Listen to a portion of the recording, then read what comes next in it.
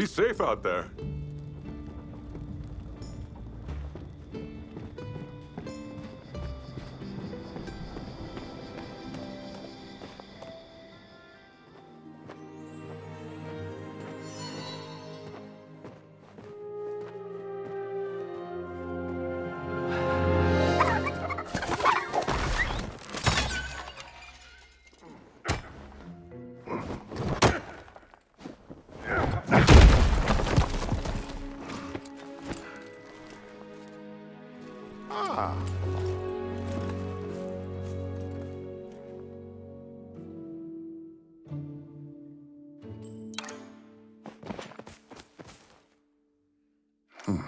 What?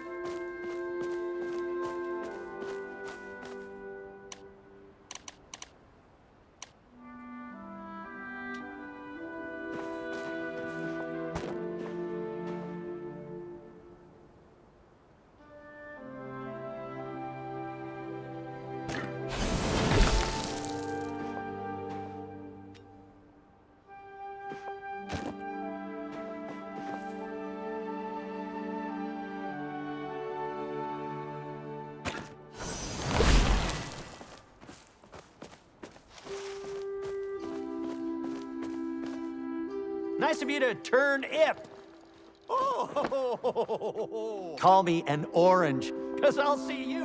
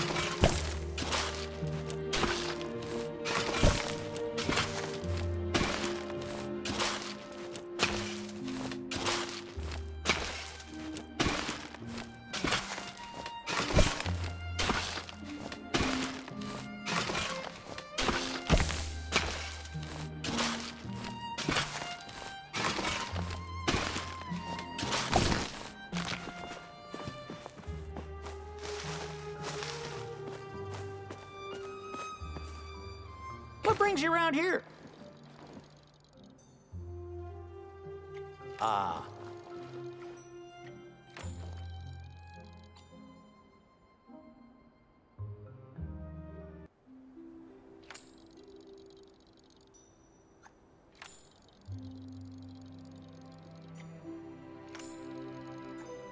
Woo!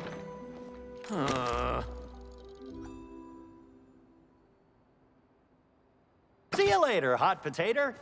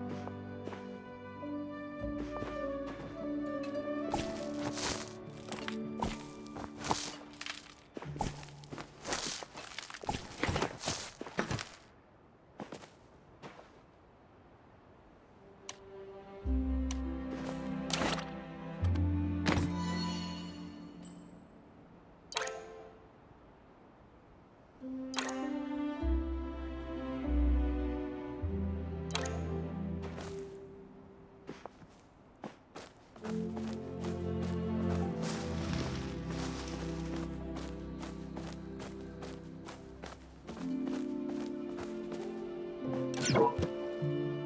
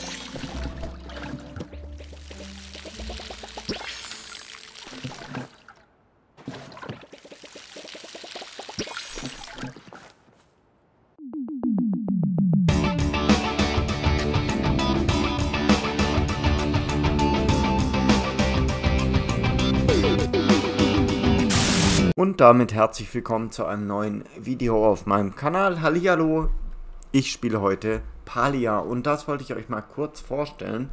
Das hier ist ein neues Massive Multiplayer Online Spiel, was von den Entwicklern von Riot und Blizzard entwickelt wurde, also von Ex-Entwickler dieser beiden Firmen. Die haben sich verschiedene Spiele angesehen, wie zum Beispiel Stardew Valley, oder Minecraft äh, und ähnliche Crafting-Simulationen mit Abenteuer, Rollenspiel-Elementen, Survival, Crafting, Aufbau, wie auch immer.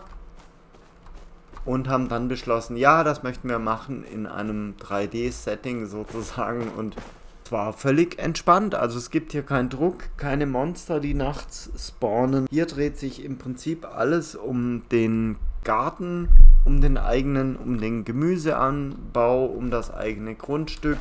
Wir können hier eben Gärtnern, Rohstoffe abbauen, neue Dinge herstellen, unser Grundstück weiterentwickeln, neue Menschen in der Nachbarschaft treffen. Hier kann man so viel machen in Palia. Das Ganze ist noch in der Beta, soll demnächst rauskommen für PC und Nintendo Switch. Und jetzt wurde gerade während der Aufnahme zum ersten Mal, seit ich dieses Spiel spiele, wurde die Serververbindung unterbrochen. Warum auch immer. Ich glaube, ich starte das Ganze gleich mal neu.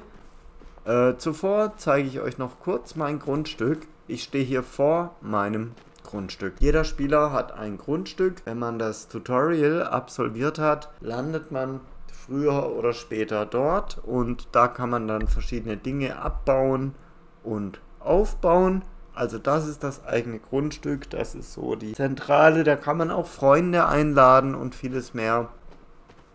Das Ganze ist wie gesagt noch in der Beta und soll aber demnächst für PC und Nintendo Switch erscheinen. Und ich habe da schon eine Weile reingespielt und mir gefällt das Spiel eigentlich ganz gut. Das sieht so ein bisschen aus wie Zelda, relativ simple Grafik, die aber irgendwie auch schön ist.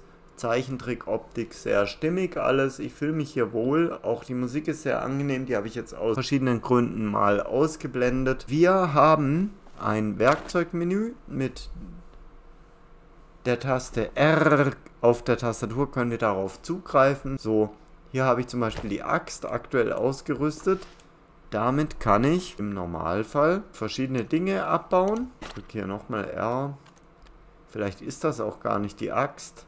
Spitzhacke, Gießkanne, Harke sozusagen. Damit kann ich meinen Garten bearbeiten. Bogen, Angelrute. Wir können mal auf die Spitzhacke switchen. Nee, dadurch, dass die Server unterbrochen wurde, kann ich hier, glaube ich, gar nichts mehr machen. Ich starte das Spiel mal neu und dann sehen wir uns wieder. So, der Server wurde anscheinend neu gestartet und jetzt probieren wir das Ganze nochmal. Mit der Taste R können wir eben unsere Axt ausrüsten und dann können wir auch hier diesen Busch angreifen. Dann können wir das Ganze was da rauskommt, mit der Taste F ernten. Genauso können wir Bäume ähm, besiegen und äh, die Rohstoffe ernten und auch Steine. Dafür brauchen wir allerdings die Spitzhacke. Ja, soweit, so gut.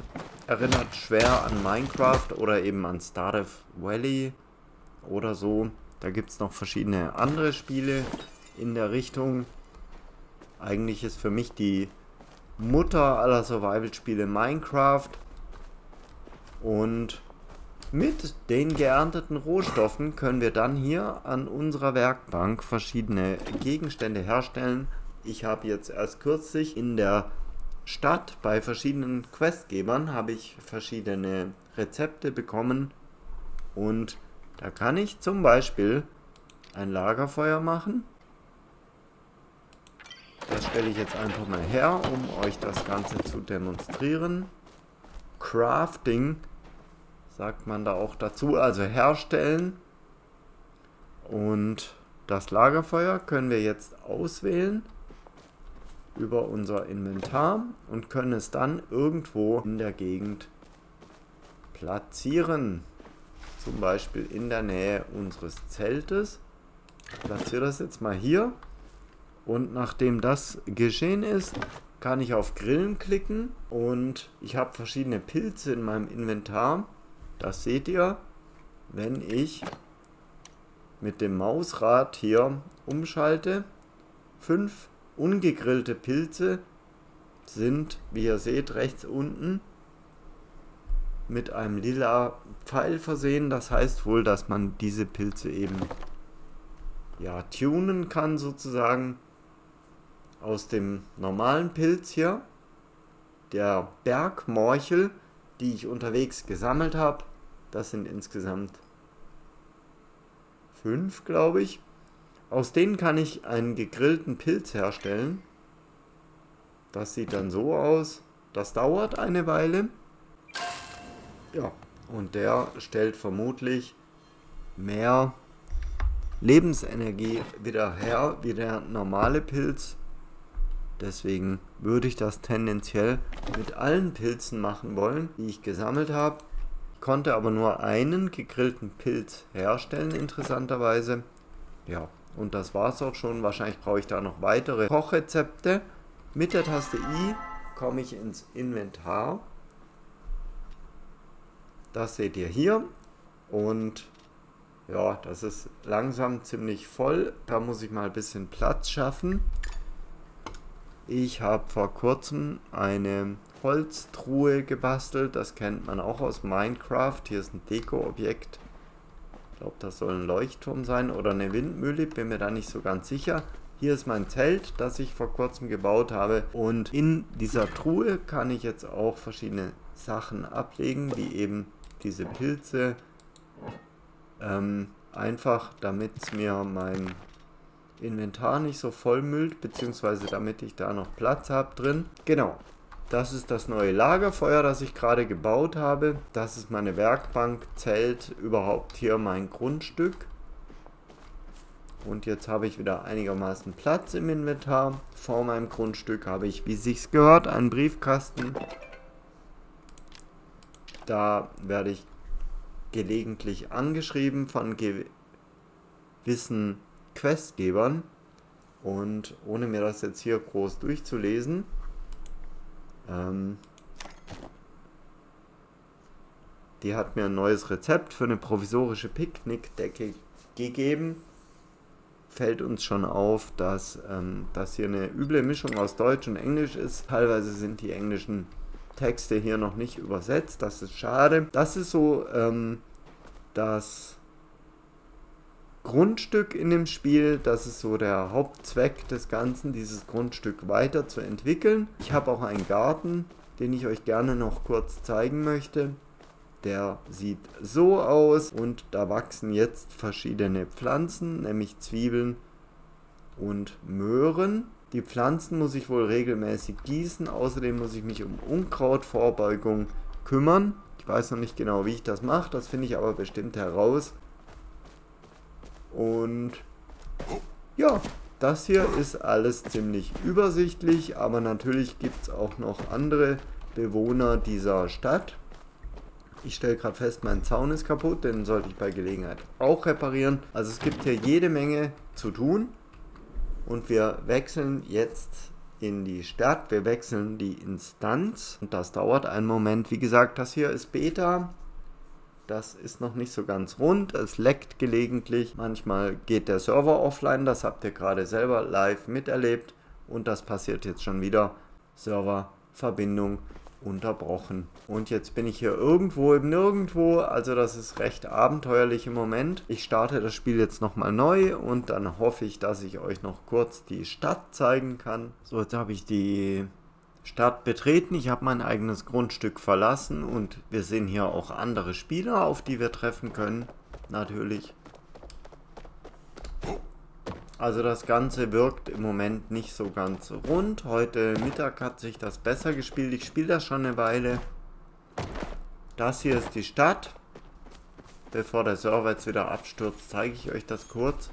Hier gibt es verschiedene Questgeber.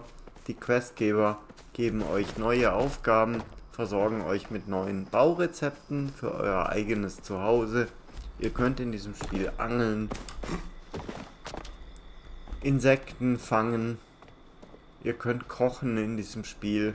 Also das ist ein völlig entspanntes Massive Multiplayer Online-Spiel. Hm. Wie gesagt, spielt sich ein bisschen wie Minecraft, Stardew Valley und ähnliche Spiele, aber mit dem Fokus auf der persönlichen Entwicklung. Also das hier ist eine relativ friedliche Welt, in der einem nicht viel zustoßen kann. Es geht hier wirklich um die persönliche Entwicklung, um das eigene Grundstück, weniger um Kampf und Überleben. Es gibt spezielle Kampfzonen, in denen man kämpfen kann, soweit ich weiß, habe ich persönlich noch nicht gefunden, habe ich aber gelesen, dass es das gibt. Man kann dieses Spiel komplett spielen ohne kämpfen zu müssen, wenn man das nicht möchte. Ihr seht rechts, es gibt verschiedene Quests. Fragt Gina nach dem seltsamen Artefakt. Ist einen gegrillten Pilz, um einen Fokus zu erhalten. Das kann ich jetzt leider nicht mehr machen, weil ich ja mein persönliches Zuhause verlassen habe.